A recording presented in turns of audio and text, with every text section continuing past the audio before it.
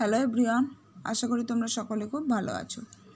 আমরা গত কয়েকদিন ধরে বিয়োগ অঙ্ক শিখছিলাম।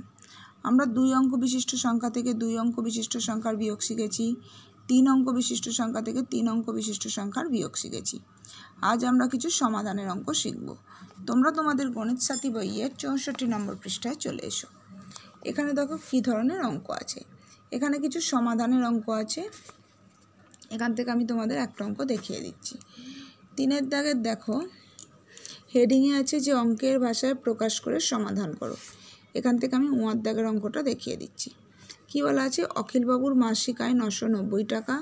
তিনি প্রতি মাসে পাঁচশো পঁয়ত্রিশ টাকা খরচ করেন। মাসে তিনি কত টাকা সঞ্চয় করেন এখানে দেখো, আয় আয় কথাটার অর্থ হচ্ছে রোজগার। অর্থাৎ তোমার বাবা কিছু টাকা রোজগার করেন, ঠিক আছে?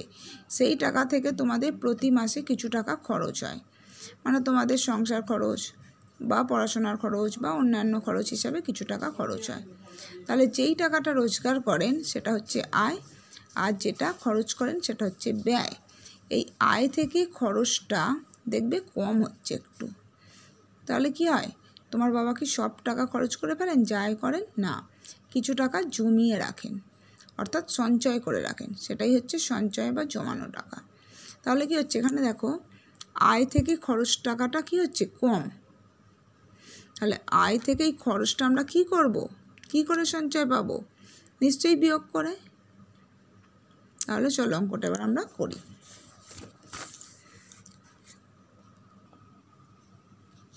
কি লিখবে? অখিলবাবুর মাসিক আয় নশো নব্বই টাকা। মাথায় একক দশক শতক লিখে নেবে। এরপর অখিলবাবুর নিচে অখিলবাবু না লিখে কি লিখবে? ডট দেবে। মাসিক খরচ। মাসিকের নিচে ডট দিলে।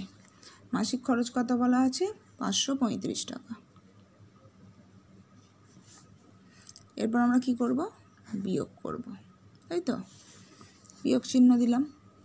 তাহলে দেখো, এককের ঘরে ওপরে শূন্য আছে, নিচে পাঁচ আছে। তাহলে ওপরে বড় সংখ্যা, নিচে সরি ওপরে ছোট সংখ্যা, নিচে বড় সংখ্যা। ছোট সংখ্যা থাকলে আমরা কি করি? শূন্যকে কেটে দশ করব, দশ দান নিয়ে সাথে দশ যোগ করলে, অর্থাৎ দশ দান নিয়ে শূন্যর সাথে দশ যোগ করলে দশ হলো আর এখানে কি করব? নয়টা কেটে আট করব, কমে যাবে। তাহলে পাঁচের পর দশ, পাঁচের পর ছয়, সাত, আট, নয়, দশ, পাঁচ কাঠ এরপর তিনের পর আট। তিনের পর চার, পাঁচ, ছয়, সাত, আট, পাঁচ। এরপর দেখো শতকের ঘরে ওপরে বড় সংখ্যা আর নিচে ছোট সংখ্যা আছে। ওপরে বড় সংখ্যা থাকলে আর ধার নেওয়ার প্রয়োজন নেই। এমনিই বড় আছে আর বড় করার প্রয়োজন নেই, তাই আমরা এমনি সাধারণ বিয়োগ করব। পাঁচের পর নয়, পাঁচের পর ছয়, সাত, আট, নয়, চার। তাহলে কত হলো? চারশো পঞ্চান্ন টাকা। তাহলে নশো নব্বই টাকা থেকে পাঁচশো পঁয়ত্রিশ টাকা বিয়োগ করে পেলাম চারশো পঞ্চান্ন টাকা। এবার উত্তর লেখো। অতএব মাসে তিনি কত টাকা সঞ্চয় করেন মাসে তিনি চারশো পঞ্চান্ন টাকা সঞ্চয় করে। ওকে বোঝা গেছে নিশ্চয়ই অঙ্কটা? এইভাবে তোমরা চৌষট্টি নম্বর পৃষ্ঠার অঙ্কগুলো করবে, ঠিক আছে? যদি কিছু অসুবিধা হয় তোমরা ক্লাসে ম্যামের থেকে জেনে নিও। সকলে ভালো থেকো বাই